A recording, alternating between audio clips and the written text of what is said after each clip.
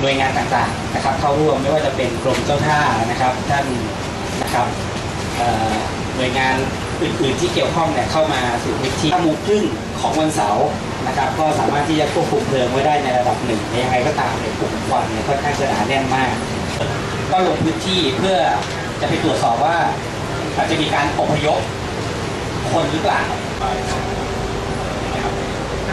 งั้นตอนแรกผมเดาสิ่งที่เกิดขึ้นเป็นพื้นเนี่ยนะ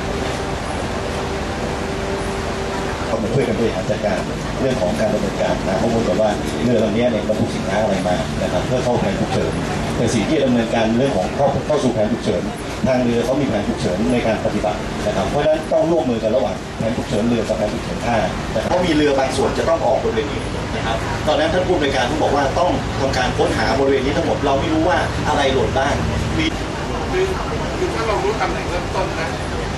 จะใส่ปลายทางเนี่ยก็จะกระบวนดหนักตรงนี้ครับไอ้ตู้ที่ระเบิดออกมาเนี่ยเราเนี่ยสิ่งที่เราดูดน้ำออกให้หมดเพื่อที่จะเข้าไปเก็บพยานหลักฐานข้างในร่วมกันนะแล้วก็จะได้รู้ว่าสาเหตุการเกิดเกิดจากอะไรนะเพื่อจะได้เป็น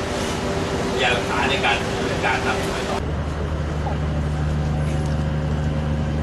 เนี่ยเดินเข้าได้ไง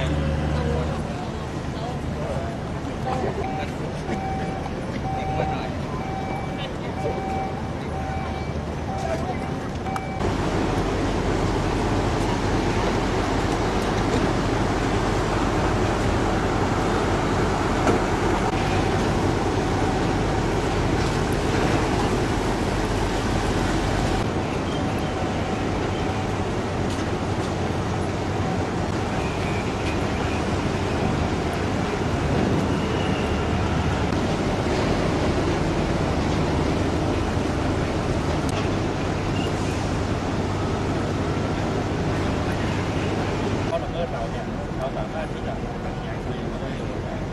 เรื่องมันคือตอนนี้ละเมิดเขาละเมิดสั่งแล้วครับเหตุเกิดทำให้เป็นการฆ่า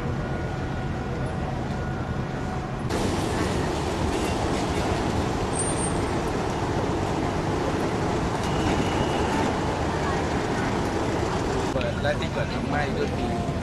มีสารเคมีอันตรายที่ที่ชื่อว่าแคลเซียมไฮโปคลอไรด์นะครับอยู่บนเรือสารเคมีนี้ปกติเราใช้เป็นสารฟอกขาวดังจรัสกูดดีจีเนี่ยก็ควรจะต้องมีการดีแคลร์ด้วย แล้วก็สารนี้เนี่ยเมื่ออยู่ในใต้ระวางเรือนะครับ รอที่จะส่งต่อไปที่ท่าของยุทธิไทยที่ส่วนปราการเนี่ยนะฮะเอ่อ มันก็เกิดระเบิดด้วยตัวมันเอง ซึ่งตรงนี้เนี่ยก็คงจะต้องเป็นหน้าที่ของพนักงานสอบสวนนะครับที่จะต้องสืบหาความจริงว่าเอ่อทำไมสารตัวนี้ถึงเกิดการสลายตัวแล้วก็เกิดการระเบิด ความความรุนแรงของการระเบิดเนี่ยค่อนข้างมากนะครับ ก็จะเห็นว่าจะมีตู้คอนเทนเนอร์สีสูบใบหนึ่งเนี่ยกระเด็นออกจากเรือแล้วก็จมน้ำไปนะครับ ก็แสดงว่ามีการมีความระเบิดของการรุนแรงสูงแล้วก็มีติดไฟอย่างไรตามทางเจ้าท่ากับทางนะฮะ การท่าเรือเนี่ยก็ร่วมกับหน่วยงานต่างๆ ก็สามารถควบคุมไฟได้ภายในหนึ่งวันนะครับผลที่ตามมาก็คือว่าสารตัวนี้เมื่อเกิดการสลายตัวเนี่ยก็จะให้ควันสีขาวนะครับ ซึ่งเป็นสารที่อยู่ในกลุ่มของคอรีนนะครับสารตัวนี้ถึงแม้เป็นสารอันตรายในแง่ที่ทำลายระคายเคืองเยื่อบุจมูกเลือดเอ่อระเยื่อบุระบบทางเดินหายใจนะครับ แต่ว่าไม่ได้เป็นสารอันตรายในกลุ่ม ในกลุ่มอย่างเช่นสารก่อมะเร็งหรือหรือเหมือนพวกยาฆ่าแมลงหรือสารอื่นๆนะครับฉะนั้นเมื่อลมพัดเข้าสู่ทางนิคมแหลมฉบังก็จะมีผู้ที่ได้รับผลกระทบอยู่จำนวนหนึ่ง ทั้งหมดเนี่ยได้รับการรักษาแล้วก็ขณะนี้ทราบว่าก็เหลือผู้ป่วยเพียงรายเดียวที่ยังแอดมิดอยู่ในโรงพยาบาลนะครับ หลังจากนี้ก็คงจะต้องเป็นหน้าที่ของทางการท่าเรือแห่งประเทศไทยทางเจ้าท่านะครับ แล้วก็ทาง ตำรวจเนี่ยนะครับทางหน่วยงานพิสูจน์หลักฐานเนี่ยจะต้องดำเนินการต่อ โดยจะต้องเอ่อดำเนินคดีกับผู้กระทำผิดในเรื่องนี้นะครับสำหรับในส่วนของการท่าเรือและเจ้าท่าเองเนี่ยผมคิดว่ากรณีนี้ซึ่งเกิดไม่บ่อยนะครับ เท่าที่อยู่ในมาตรพุทธมา 30 ปีเนี่ยก็ก็เพิ่งเห็นครั้งนี้เนี่ยนะก็ขอให้ครั้งนี้เป็นบทเรียนนะครับ แล้วพยายามจะถอดบทเรียน แล้วก็ สิ่งที่เราได้เรียนรู้จากเหตุการณ์นี้ต่าง ๆ เพื่อป้องกันไม่ให้เกิดต่อไปในอนาคตนะครับ อย่างเช่นเรื่องของพิธีการพิธีการนำเข้าส่งออกนะครับ เรื่องของการตีแคลสินค้า เพราะว่าประเทศไทยของเราเนี่ยเรากำลังอยู่ในขั้นตอนของการที่จะพัฒนาท่าเรือแหลมฉบังเฟสที่ 3 ซึ่งเฟสที่3เนี่ยจะให้ทำให้ท่าเรือแห่งนี้เนี่ยใหญ่ขึ้นอีกหนึ่งเท่าตัวนะครับฉะนั้นกรณีต่างๆที่เกิดขึ้นก็ถือว่าเป็นบทเรียนครั้งสำคัญที่จะต้องช่วยกันนะฮะศึกษาแล้วก็ ระวังป้องกันไม่ให้เกิดขึ้นอีก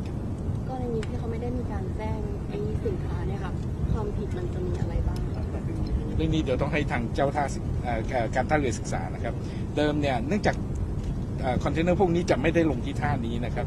เขาก็เลยไม่ได้ดีแคลร์ไว้นะครับ แต่ว่าจากการสืบสวนในภายหลังเนี่ยพบว่าเป็นสินค้าอันตรายนะครับ ซึ่งเวลาสินค้าอันตรายเนี่ยมันจะมันจะมีเบอร์กำกับของเขานะครับเราเรียกว่า UN number เนี่ยนะฮะ ซึ่งในครั้งนี้เนี่ยเมื่อรู้ว่าเป็นอะไร เราก็รู้ UN number ก็ทำให้เราทราบวิธีที่จะบริหารจัดการป้องกันเรื่องนี้ได้ เรื่องนี้เนี่ยก็ได้มอบหมายให้ทางการท่าเรือนะครับ แล้วก็อาจจะให้ regulator อย่างเจ้าท่าเนี่ยต้องวางกฎระเบียบเรื่องนี้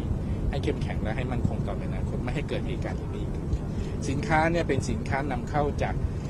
ประเทศจีนนะครับ แล้วก็โดยใช้สายเรือของเกาหลีมาขึ้นที่ท่าเรือ A2 ครับ โดยชื่อถ้าใครเป็นนักเคมีก็รู้ว่ามันจะเป็นสารที่ไม่ค่อยเสถียรนะครับ แล้วก็น่าจะเป็นสารที่เอาไว้ผสมสารทำความสะอาดนะครับสารฟอกขาวตัวนี้ แต่เนื่องจากครั้งนี้เนี่ยเห็นว่ามีถึงหมดถึง 13 ตู้นะครับเป็นปริมาณที่มากมายเลยก็ยังสงสัยอยู่นะครับเรื่องนี้อาจจะต้องมีการตรวจสอบต่อไปนะครับกับผู้นำเข้า แล้วกับฐานข้อมูลของทางศุลกากรนะครับ ว่าเรื่องนี้เราปกตินำเข้าสารนี้เป็นปริมาณมากมายอย่างนี้เป็นปกติอยู่แล้วหรือเปล่าและเอาไปทำอะไรนะครับ ก็คง ของทางฝากทางพิสูจน์หลักฐานทางตำรวจเป็นผู้สืบสวนเรื่องนี้ต่อไปครับ